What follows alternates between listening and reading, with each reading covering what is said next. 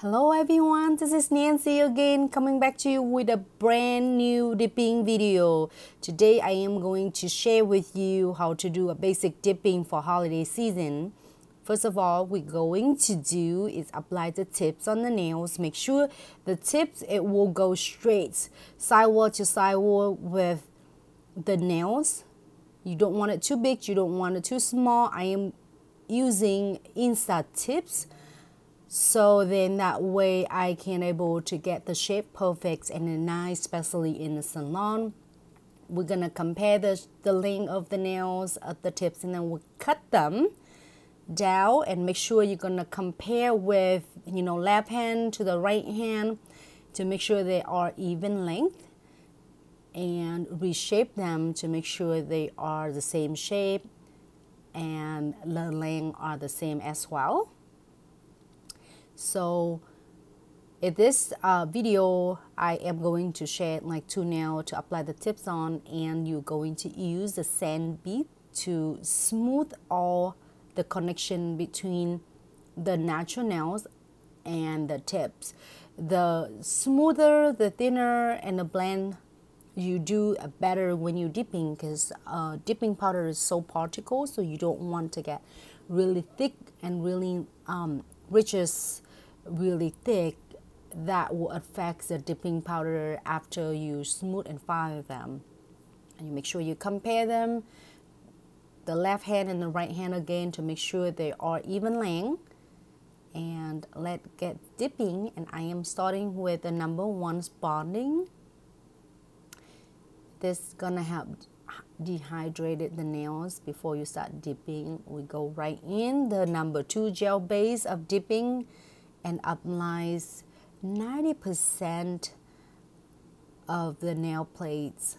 It's really uh, just a hair close to the cuticles and I will sprinkle the clear powders to build a structure of the nails.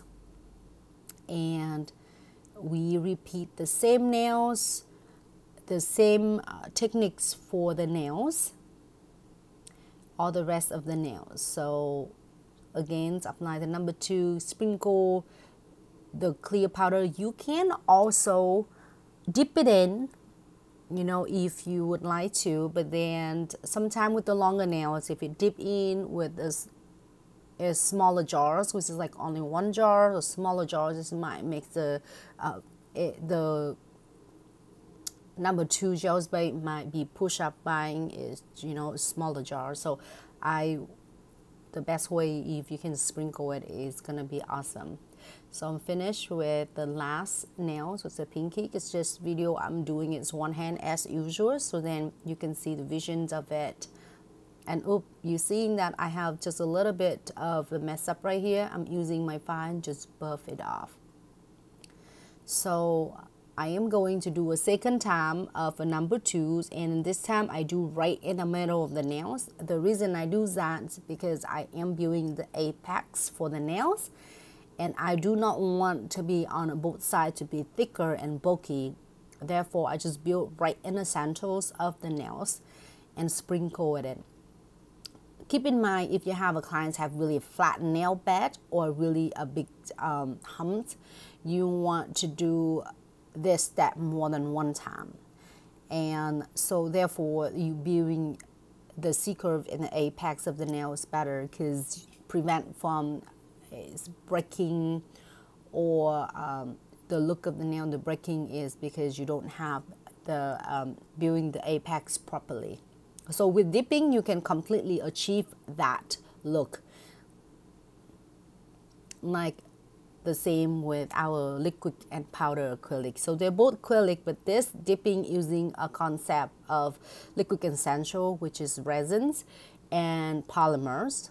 The poly polymers is a little bit more um, particle than acrylics, uh, liquid and powder. So they all from polymers formulas. So we going to be in uh, the last nail, the pinky, and I am going to build one more time as the three times of a C curve and the apex. So now it's really cool with tip and tricks. I'm going to using number three to accelerate and dry all of um, the clear powders that I dipping it on. So now I'm gonna start finding them to build the apex of the nails before you dipping because if you dipping it right in away, it will help it not it looks still okay but then it's gonna give it a hard time to uh, make it smooth because sometimes the powder is so particle when it flow and if you dip too many coat to fill it in all the edges and lumps and bumps. And by the time you fire all the powder is to come up. So the best to do it first before you dipping in uh, the solid colors that the clients prefer. So I shape the nails both sides and always hold my fires up 90 degree to keep the shape nice and um, really precise without a bulky look on both sides of the nails. Because mostly of us get that um, troubleshooting. I had that myself um, back then, but continue uh, educations and improve my skill. It's helped me uh, so much. So I that's why I would like to share with all of you for especially for beginners who start dipping. Also, this using for both structures uh, for dipping or liquid and powders using the same technique. So now I'm going one more time to compare, make sure all the nails are the same before I doing as the color dip. And um, using a sand bead is help me go a long way because sometimes you can use all different beads like uh, firing them down but sand beads is the safest way for both beginners and experts uh, because the powder is so particle and flow and you don't want to using too sharp or embraces uh, E5 beads that might take all your powder off. So as I you seeing my apex building really nicely without make it look so thick and bulky on both sides, I'm just gently just circle and cleaning up all that uneven surface of the nails first before I going to dip into the solid color. So this time we're going to do a nude and have a burgundy color. It's just really beautiful, simple, and then we're going to do some crystal placements. Um, you saw my video before that I did um, crystal placements with number four and number three. This time we are going to do is a little bit different using a glue gels because the glue gels and the top coat of gels, you LED light gel top coat will help going a long way because I get more time to play with the crystals. So after I done all everything, you can see it's just number two gel spray. I am going to apply it 90%. Like I would say it's just a hair or I apply it completely. Uh, it's up to you, but then you dip it in like 90%. But this time you're seeing my techniques instead of dipping in a 45 degree angle, I just basically just turn the hands upside down and the fingers will touching your surface of the powder instead of dipping in. So this is avoiding from uh, pushing and wrinkle my powders. So you seeing that? I just like bend it down and then gently dip it. So going to repeat for the, all the nails and the first coat of the nude colors and I think I'm using a chisel but I'm not sure. I don't remember what color is it but the chisel nail art have a really good um, powder solids collection as well as the ombre. So I'm going to apply all of them and then we're gonna repeat twice for the color to make sure the color solids. So uh, for those of you that do not want to uh, have the, the, clear coat and like a cap the colors so you can do three coats of the solid colors. Or you can do two coat of solid colors and then one coat of a clears it's really is it's up to you. Um, I would suggest with the deep with the darker colors instead of afraid of having a really cloudy uh, little cloudy uh, spot on the nails like a dogger nails right now you can sprinkle in and then I usually do three coats and I don't do any of um, a clear coat. But it's really flexible. It's really depend as um, we're going to the second coat right now for the solid colors. And make sure you don't miss any spot and you make sure you go any uh, edges of the nail so then when you after you dipping it won't missing any uh, spot any edges. I'm going to beautiful burgundy colors. This is perfect for the holidays or every day. You can wear nude and dark colors pretty much every day every season now. It doesn't limit um, of any colors you want.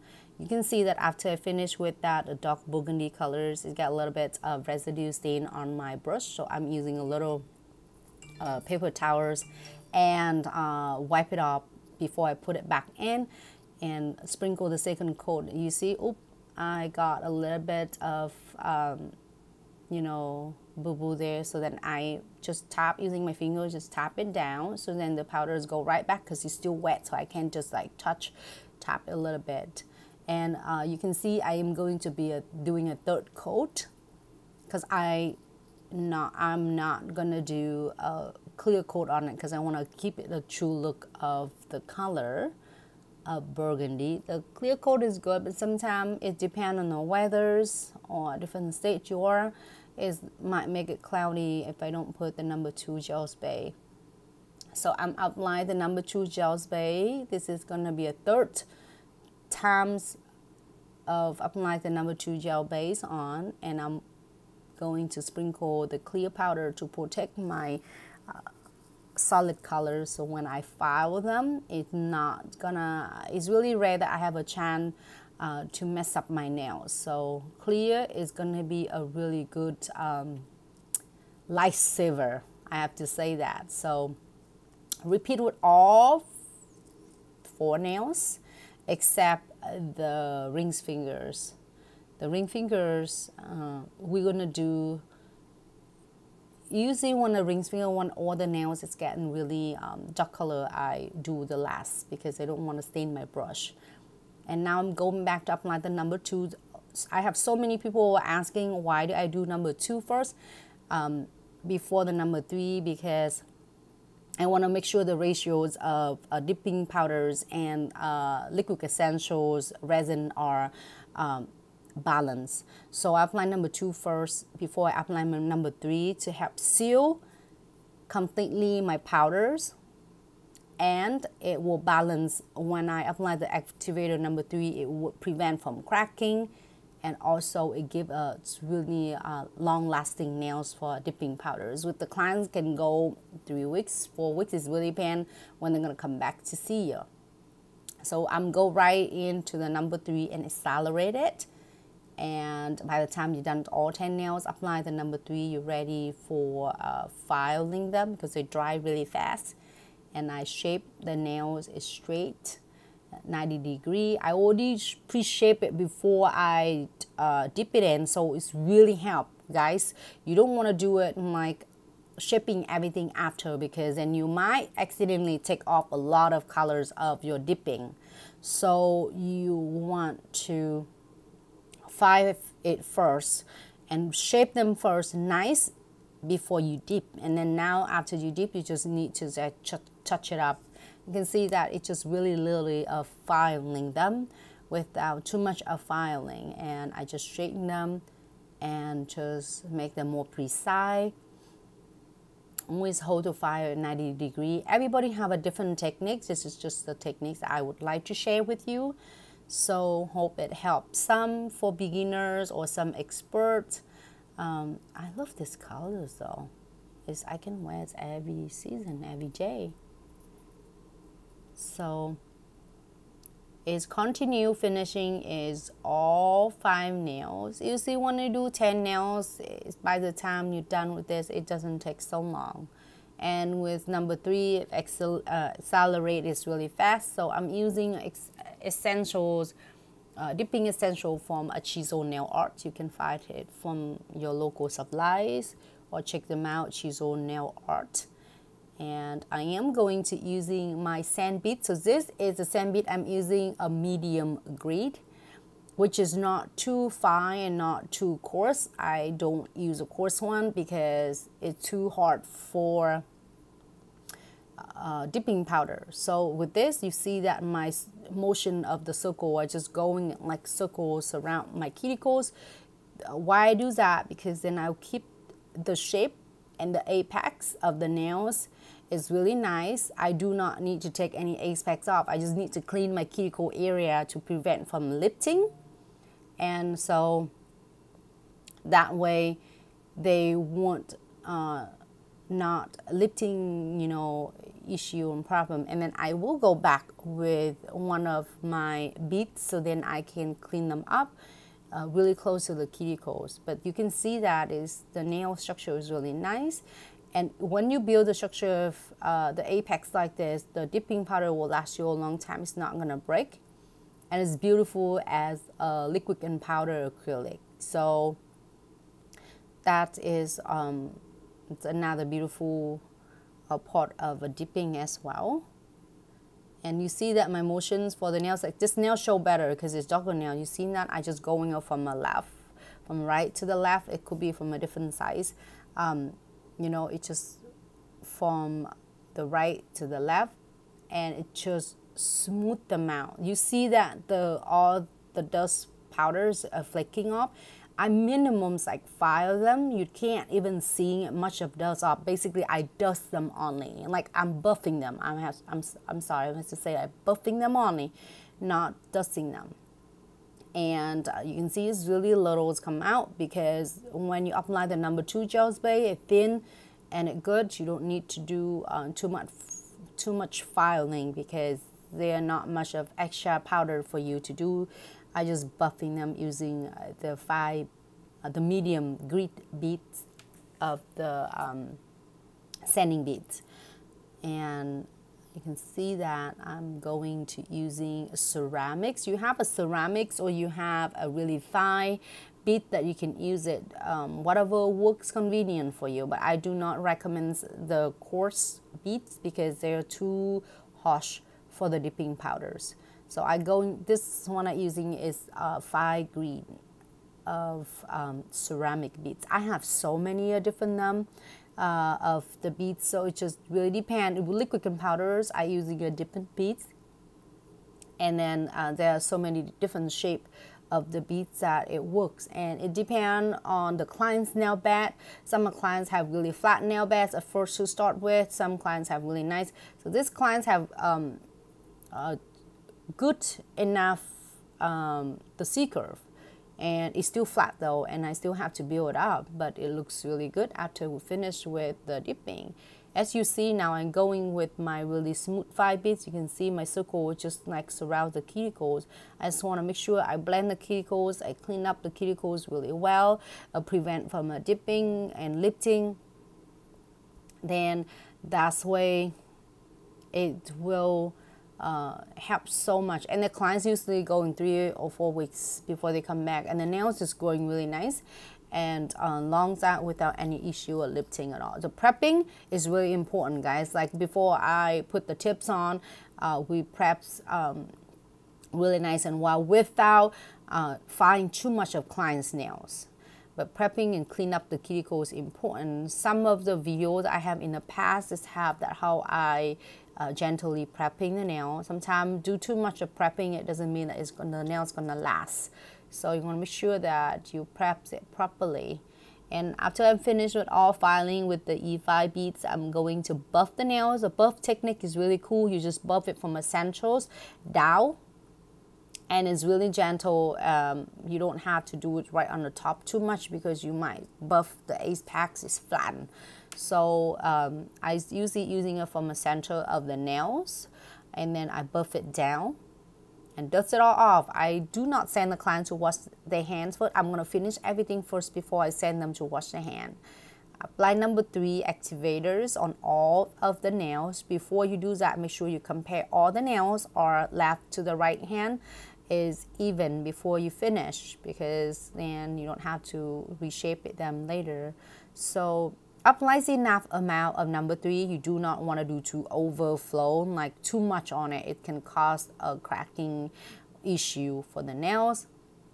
so I'm going to finish four nails in the nude colors because this I do not do designs uh, crystal on this so I'm gonna finish a number four first coat of number four I am going to do it thin and really fast okay and like a few stroke and fast and let it go. You don't want to go back and forth because then you're going to harden your brush by accelerate and uh, contaminating number three on the nail surface to the number four. So after you apply the number four and then in the meantime I'm waiting for the first coat. I am going to using uh, gels based coat. Gel based coat I mean is LED curing so I'm going to apply thin coat and I'm going to cure under the LED light for about 10 seconds. And then using, after 10 seconds, I'm using uh, condensed glue gels and applying one thin coat, uh, generous of it. You don't want to do too thick because it's a condensed, so it will help hold your crystal so nice, or as well as the uh, 3D crystal for the flat back and 3D. I'm going to using no wipe top coat and applies on the top of the glue gels. I haven't cured any glue gel yet. It's still wet underneath. And apply the crystal on place nicely. The reason I did a top coat on the top of the glue gel to kind of sandwich it really nicely because the glue gels and the top coat will help grips my crystal base nicely and it's and suck them in. So it wrap around their base. So then it's really amazing technique that it will keep your crystal stay in nice place. Second that when I'm using a no wipe top coat is really help that I don't have to go back and go to any little edges of the crystal and try to put the top coat on because or else gonna get a tacky um, sticky uh, feeling. So you don't want that. So this will help your crystal stay nice and sparkle. Um, I believe that I did uh, number four top coat for dippings done for four nails two times. The first coat you make sure you're doing it thin and fast. The second coat you can go back and um, touch up anything that's missing. So uh, going to this nails you see that how simple and beautiful of it. I apply the big crystal in the centers and then I go in the top one and gradually doing a smaller toward to the end of the nails. And cure it for 60 seconds when you're happy with this. And I'm going to using a precision glue with the dual head. This one I'm using is just a tip.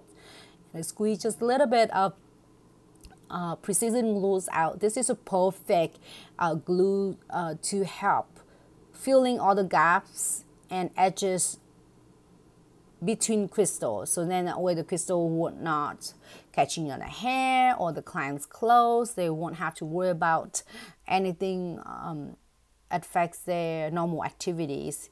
So after happy with this, you pop in the lamp for 60 seconds and then you're all done. I'm just apply the cuticle oils around to nurturing the cuticles and just wipe it off with the alcohol and piece of paper to make sure that the oil is not going to be too oily and then we are going to take some pictures and picture is important. Picture with a thousand words because then sometimes you have a great work and you didn't get to do a picture because then people don't look you they can't look you up on uh, social media. They can't see you. So it's just like a couple minutes of taking a picture is really help. I put a really nice background and usually i lift my hand up a little bit uh, maybe um, you know five inches i guess uh, of Uh, the surface of the station and then hold the nails so I can focus on nails without focus on the backgrounds.